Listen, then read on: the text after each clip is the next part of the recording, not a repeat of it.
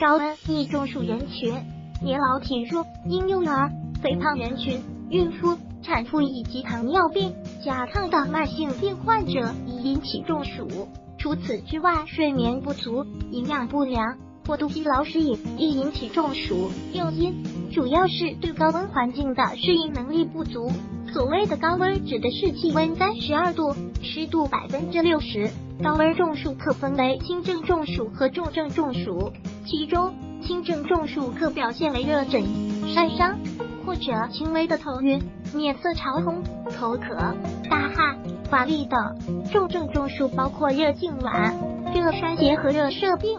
除上述症状外，还出现昏倒、痉挛或皮肤干燥无汗、体温在四十度以上。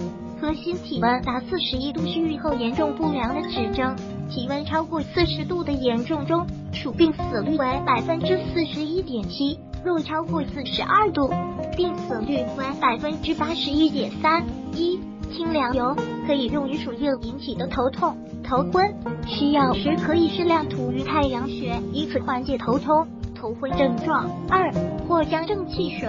能清暑解表，适用于暑天因受寒所致的头昏、恶心、呕吐、腹泻等症状。通常一次五到十毫升，一日两次口服使用，用时需摇匀。但是需要特别注意的是，藿香正气水中百分之四十到五十的乙醇，服药后不得驾驶，不得从事高空作业、机械作业及操作精密仪器。十滴水。能够清暑散寒，适用于中暑所致的头昏、恶心、呕吐、胸闷、腹泻等症状。通常一次二到五毫升口服，但需注意的是孕妇忌服。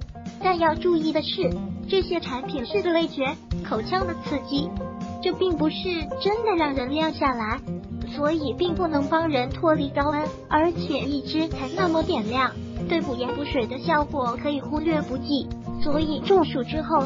不能完全依靠药品解决，在中暑初期，应迅速到通风阴凉的地方，平摸并解开衣扣，头部可捂上冷毛巾。轻度中暑可以为患者泼水，泼在皮肤上的水蒸发较快，以增加降温的效率，或者用冷毛巾湿敷患者。如果可能，将患者移到了有冷气设备的地方。